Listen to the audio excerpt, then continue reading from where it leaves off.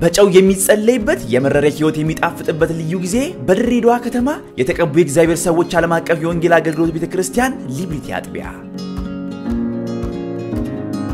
ዛሬ በጌታ በኢየሱስ ስም ይሄንን ጨው ጨምራለሁ።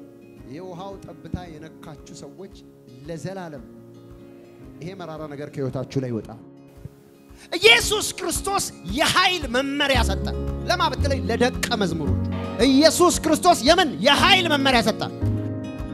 በሕይወታችሁ ላይ መራር የሆነባችሁ ነገር ሁሉ የሚጣፍጥበት ማንኛውም በሽታ ከላያችሁ የሚነቀልበት እስራትና ተብታብ የሚበጣጠስበት መፈታት የሚሆንበትና ከእግዚአብሔር መመሪያን የምንቀበልበት ድንቅ ጊዜ በዚህ ልዩ ጊዜ እግዚአብሔር አምላክ ለምድራችን ቀብቶ የሰጠን ነቢይ ደረሰ ላቀው እናንተን ያገለግላችኋል።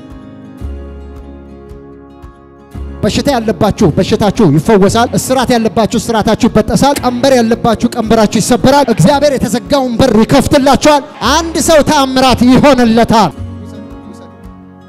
መራራ ነገር በኢየሱስ ክርስቶስ ስም መራራ ነገር ቤትሽ አይቀመጥም።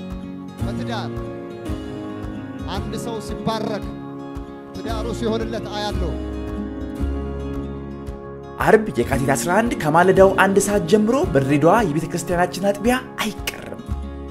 በቅዱሱ መጽሐፍ እንደተመዘገበው ኤልያስ ወደ ውሃው ምንጭ ሄዶ ጨው ጣለበትና እግዚአብሔር እንዲህ ይላል፣ ይህን ውሃ ፈውሼዋለሁ፣ ከእንግዲህ ወዲያ ለሞት ምክንያት አይሆንም፣ ምድሪቱንም ፍሬ እንዳትሰጥ አያደርጋትም አለ። ይህን ልዩ የሆነ የእግዚአብሔር አሰራር የሚገለጥበትን ድንቅ ዝግጅት ይካፈሉ።